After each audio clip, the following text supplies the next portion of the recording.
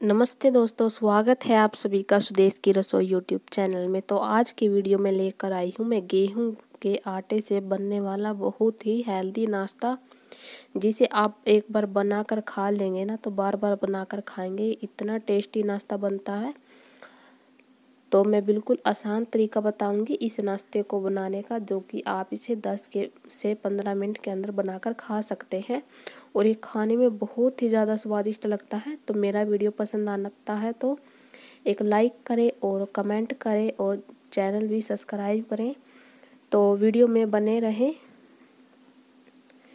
तो मैंने यहाँ पर गेहूँ का आटा लिया है।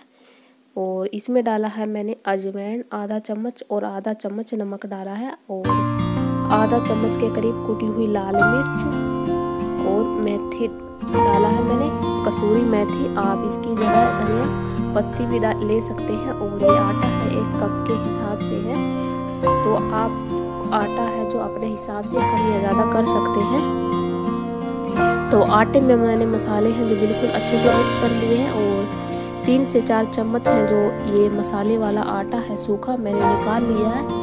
इसका यूज़ हम बाद में करेंगे, फिर बाद में बताऊँगी मैं आगे कि इसका यूज़ कहाँ पर करना है।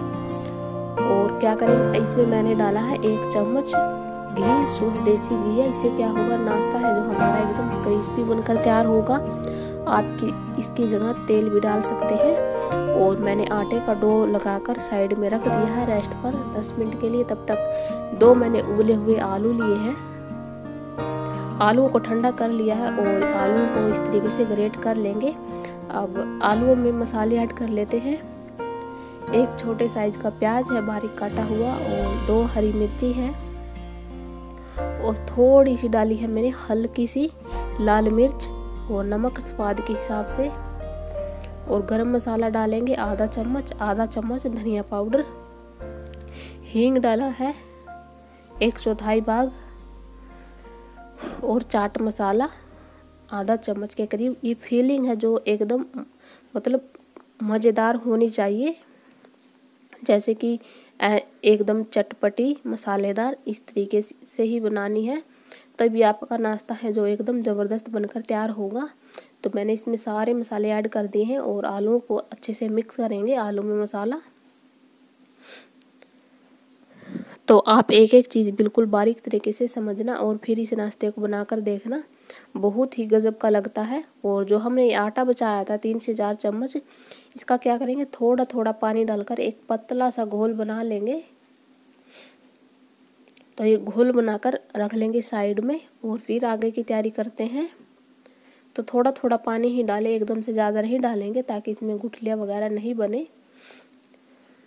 तो देखिए मैंने इसका बैटर है जो इस तरीके से पतला रखा है। ये देखिए, आप देख सकते हैं इतना पतला रखा है मैंने। अब क्या करेंगे, आटा है जो हमारा, इसको अच्छे से सेट करेंगे और दो लोइयों में इसको तोड़ लेंगे। तो बड़ी सारी रोटी बेलनी है।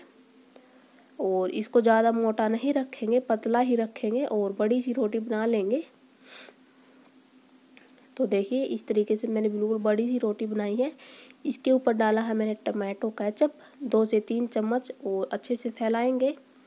और दूसरी रोटी भी बेल कर रख ली है मैंने और इसके ऊपर लगाएँगे आलू की फीलिंग जो हमने बना कर रखी थी। अच्छे से लगाएँगे चारों तरफ़। बिल्कुल अच्छे से लगा दी है मैंने और अब इसके ऊपर लगाएँगे हरी चटनी। इसको भी अच्छे से फैला देंगे। तो आप तीखा कम पसंद करते तो इस चटनी को हटा सकते हैं। अगर आपको तीखा कम पसंद है तो। और दूसरी रोटी है, ये भी इसके ऊपर से इस तरीके से रखेंगे और चारों तरफ़ से अच्छे से इसको दबा देंगे। अच्छे से इसको बंद कर देंगे। तो ये देखिए, बिल्कुल मैंने अच्छे से बंद कर दिया इसको। देखिए अब इसकी कटिंग कर लेते हैं। तो ये नाश्ता है, आप अपने हिसाब से किसी भी आकार में काट सकते हैं। तो मैं देखिए, इसको इस तरीके से तीन कून वाला नाश्ता है जो काटूँगी। जैसे ब्रेड पकोड़ा बनाकर खाते हैं उसी तरीके से। तो ये देखिए, इस तरीके से इसकी कटिंग कर लेंगे। बिल्कुल आसान है और ये बिल्कुल आसानी से कट जाता है। आप पिज़्ज़ा कटर के साथ भी काट सकते हैं, पर मैंने इसको चाकू से ही काट दिया है। तो ये देखिए, इसका एक पीस इस तरीके से उठाकर रखेंगे प्लेट में रख लेंगे। और आप क्या करेंगे, जो हमने घोल बनाकर रखा था, इस नाश्ते को इसके अंदर डालेंगे और इस तरीके से इसके में डब्बो कर और सीधा तेल में डाल देंगे। तेल है जो मैंने गर्म होने के लिए रख दिया था और मैं इस बैटर में हल्दी डालना भूल गई थी। और मैंने इसमें फिर हल्दी डाली है, आधा चम्मच के करीब। और फिर इस तरीके से ही घोल में नाश्ते को इस तरीके से बोते जाएँगे और तेल में छोड़ता जाएँगे। तो हाई फ्लेम पे नहीं पकाएँगे इस नाश्ते को, लो फ्लेम पे पकाएँगे। तो लो फ्लेम पे इसको पकने देंगे पाँच से सात मिनट के लिए। तो ये गेहूँ के आटे से बना है तो ज़्यादा टाइम नहीं लगेगा, बिल्कुल जल्दी ही सीख जाएगा। तो ये देख ली, इसको अल्ट पल्ट कर देंगे इस नाश्ते को।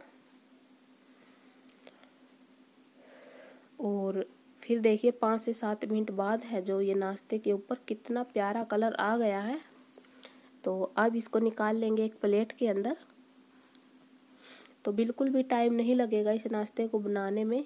बहुत ही आसान है और खाने में बहुत ही ज़्यादा स्वादिष्ट लगता है। तो एक्स्ट्रा ऑयल छोड़ते हुए इस तरीके से इस नाश्ते को रख लेंगे और सभी नाश्ता है जो इसी तरीके से बनाकर रख लेंगे। तो ये देखिए, नाश्ता है जो मैंने बना लिया है। तो आप इसे हरी चटनी, टमाटो कैचअप या दही के साथ, किसी भी चीज़ के साथ इसे इंजॉय कर सकते हैं, जैसे आपको पसंद है। तो ये खाने में बहुत ही ज़्यादा टेस्टी है।